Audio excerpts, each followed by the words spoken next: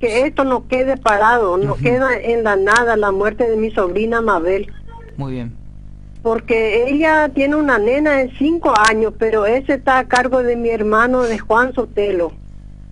Y acá el miércoles me trajeron el acta de función y yo quería mover, hacer un sueldo de la, el sueldo de ella que era para mi, para la, mi sobrina ponerle porque la nena es cinco años. Pero me dijeron sé que ella está cobrando el salario, entonces no puede. Ella está cobrando el salario que mi hermano Juan Sotelo el apoderado, que quedó a cargo esa criatura, el nombre de ella, que mi, sobrina antes, cuando unos 15, 20 días me dio a mí, después como mi cuñada quería, yo le pasé esa criatura a ellos. Pero respecto del caso, ¿en qué ha quedado?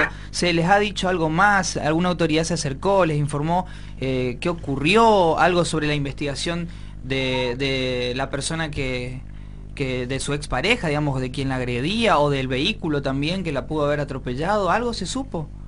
No sabemos nada, la verdad que no, pero yo me enteré por otra persona, Rulé, que el hombre anda ahí en el, en el galpón. Y otro me dice que está en el fondo Rulé en la casa de una hija de él. No ha quedado nada. No hicieron nada. Nada, nada. Y él, no hicieron el hombre, que el policía que estaba a cargo de la muerte de mi sobrina, le dijo a mi hermano Antonio que nos ayude, que para que le ayudemos para buscar el hombre ese, pero y si yo no conozco y mi hermano Antonio conoce, sí. Lo conoce, porque Justo, veníamos en el colectivo esos días, fuimos, fuimos a reclamar de vuelta, veníamos con mi hermana Adelina y venía un señor, dijo por ahí usted necesita un abogado de Rulel, hombre, yo no conozco muy bien y le, le dice mi hermana ya tenemos abogado y, y, eh, para que ese hombre se pudra en la cárcel, dijo mi hermana, y salió una mujer del colectivo, dijo, no va a ir a la cárcel, dice, porque nosotros ya pusimos abogado. Así salió y le dijo a mi hermana, y ella se cayó porque se sintió mal, porque ella tiene marcapaso, ella es enferma del corazón.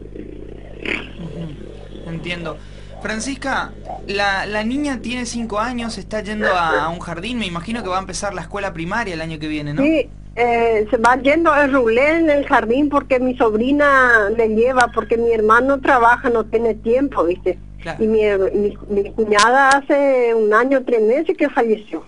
Entiendo. ¿Y era, ella era la única hija que se crió? Ella es la única hija, sí. ¿Se criaba con la mamá?